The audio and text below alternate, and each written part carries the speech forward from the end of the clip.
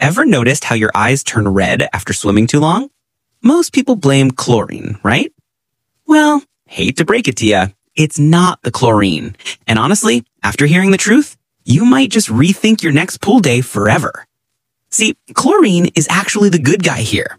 It's put in the water to kill all those nasty germs and bacteria, so we don't end up catching something gross. But then, every pool has a few, let's just say, liquid philosophers, the geniuses who decide that the pool is their personal bathroom. Yep, they pee in it. And here's where the science gets nasty. When that pee meets chlorine, it creates a whole new chemical called chloramine. And that's the real reason your eyes sting and turn red. Not chlorine, but the glorious blend of pool water and someone's afternoon bladder release. Oh, and that strong pool smell everyone thinks is chlorine? Nope. That's chloramine gas. Basically, you're sniffing the fumes of other people's bad decisions.